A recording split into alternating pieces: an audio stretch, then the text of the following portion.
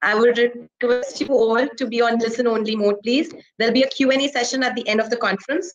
So you can share your questions on the chat window and we'll take them one by one. In case you drop out, please rejoin us using the same invite link. Today we have with us Tech Mahindra's Managing Director and CEO CP Gurnani, Chief Financial Officer Manoj Bhat, and Head Corporate Development and Global Head, uh, Head for Healthcare and Financial Services Vivek Agarwal. Without any further delay, over to you, CP. Thanks, Abhilasha, and good evening and welcome to Tech Mahindra Quarter 3 21 results. Thank you again for joining us today. I do know that uh, it's a little unusual day and the time, uh, particularly considering that we have a lot happening uh, everywhere else.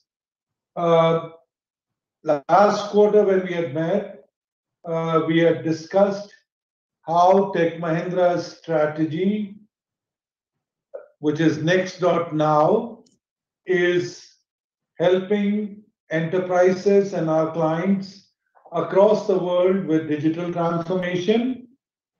And also that there is an acceleration in adoption of new age technologies by telcos and enterprises around the world.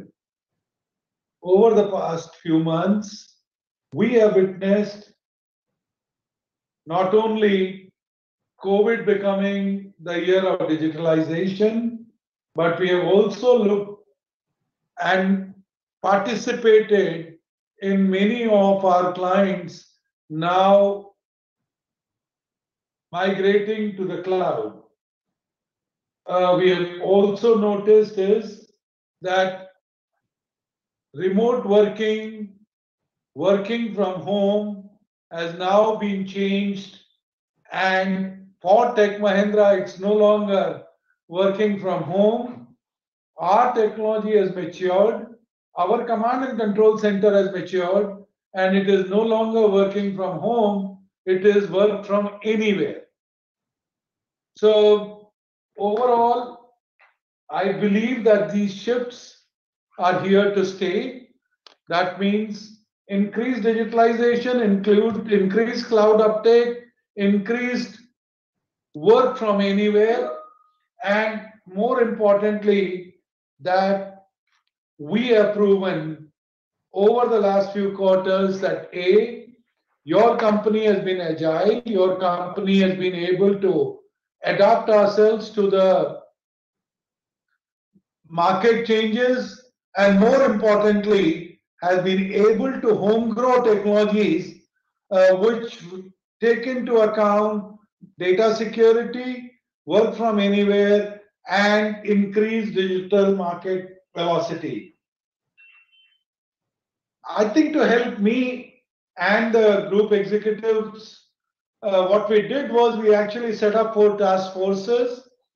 The first task force was on the process transformation. As you know, what I just discussed with you was a huge process change. Uh, as my CIO would put it, he earlier used to manage 90 offices.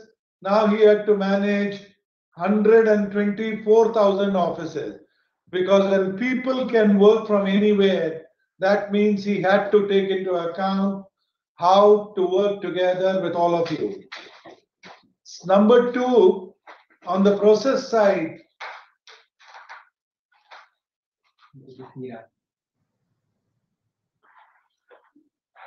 Number two, on the process side, uh, what we have also noticed is that some of the processes have to be adopted to the new normal.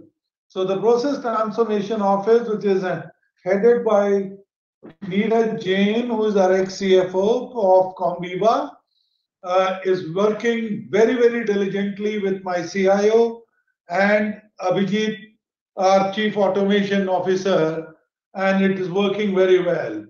The second office we set up was growth office. Uh, in growth office, we have looked at what we believe is the Tech Mahindra's real asset, which is a, about 1,000 customer relationship. We have we are now getting a lot closer in engaging with our clients, considering that the feedback loops were broken because of lack of physical meetings and not being able to interactively travel or uh, adjust to the new normal. So overall, I think again, the growth office has done a phenomenal job of connecting better with almost 1,000 clients of Tech Mahindra. The third one is what we call as a transformation office, uh, which is looking at uh, automation, delivery, uh, next future of delivery, next generation delivery, uh, new alliances, and most importantly is uh, that they are also looking at industrial engineering of our costs. Uh, business transformation, culture transformation, as you know, are very interrelated. And hence, we have a dedicated people transformation office. And uh, ultimately, these four vectors, that means the process transformation, the growth transformation, the delivery and the cost transformation office, and the people transformation office all four of them working together, I think have started reflecting in our results. So you all have the, uh, you know, results in front of you, but however, I will take you through the highlights. Our revenues at 1309 is 2.8% increase. Our uh, Profitability is a 24 quarter high. It is now running at 19.6% EBITDA. Uh, our cash conversion is particularly very, very good. We have already generated close to 780 million of cash uh, this year, which is about 170 plus percent of our PAT. Uh, Q3 cash flows at 226 million continues to be very healthy. Our deal flow has been very decent. We have grown to about 455 million of signed TCV this quarter. And more important to me is uh, two things. One is success on all fronts cloud, AI, digital, and analytics. And other more important part is that our funnels are at all-time high, and we do expect our future quarters to be even more robust as our deal flows or as our, deal, our funnel have become very, very strong. 5G the three focus areas, if you would recall, I had shared with you as a totally as a differentiator for Tech Mahindra. Number one was 5G for enterprise, 5G for telcos, 5G, uh, I think is working out very, very well. Uh, I mean, I know it has been a little slow takeoff on 5G, but the way we are now getting closer to the business, uh, I mean, it is only showing, and we signed up with a UK telco for implementing a 5G transport network. Uh, the other area where we are seeing a very good uptake, thanks to our acquisition of Born Group earlier this year, where we are seeing human experience management uh, has done remarkably well. Uh, they are adding uh, more clients, they are adding more value to Tech Mahindra clients. And as a matter of fact, I mean, uh, we have a nice problem to have.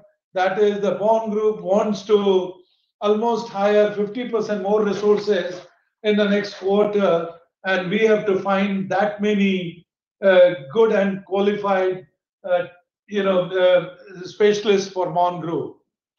So your company has the third area where we have done exceptionally well is on our sustainability initiatives. Your company is now on most of the global lists of in top 100. Every external agency like a Dow Jones or CDP A list, uh, we are now one L'Oreal's and we are in the top 100 list. And in India also, we will be at the top five or 10. So overall, I can say I'm very proud of Tech Mahindra team. I am happy with the good steady quarter for Tech Mahindra and uh, we are optimistic as we go into the next quarter. So thank you again for your support and I'm going to hand over to Manoj Bhat, our CFO, and I also have Vivek Agarwal, who is our President for Corporate Development. Thank you, CP. Uh, I, think uh, what I'll do is a quick overview of some of the numbers. Uh, as you know, the revenue was about 1309, uh, growth of 3.4%. Uh, and this was well rounded across both enterprise and communications.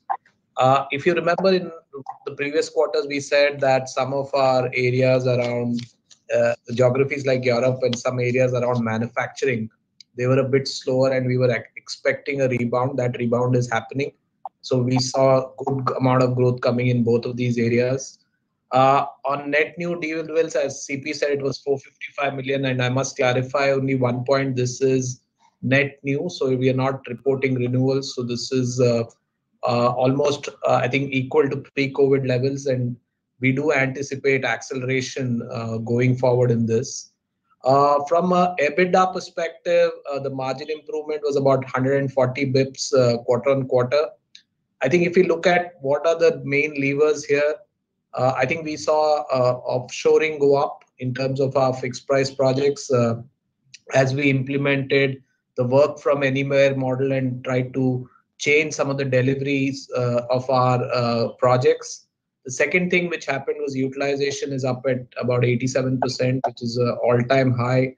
And both of these contributed about 80 bips to the margin. And with operating leverage coming from growth, I think was the balance about 60 bips. Uh, I think from our perspective, as we look forward, some of the costs around salary, travel could come back. But I think from a margin perspective, I think we are we are at the beginning of uh, a structural new band, I would like to think. And uh, and our goal of at least achieving 15% EBIT margins for next year uh, seems very, very feasible. Uh, I think apart from that, I think CP covered the cash flows uh, and the DSOs. We have had a good quarter there. Uh, from our perspective, uh, I'll just leave it with the closing comment that I think we are making fundamental changes in our operating and delivery model that is being reflected in the results. And we hope to build on this as we go forward. Uh, with that, I'll, I'll uh, probably throw the floor open for questions.